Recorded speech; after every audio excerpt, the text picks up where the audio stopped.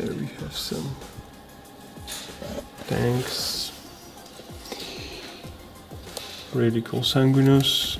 The wings are just amazing over here.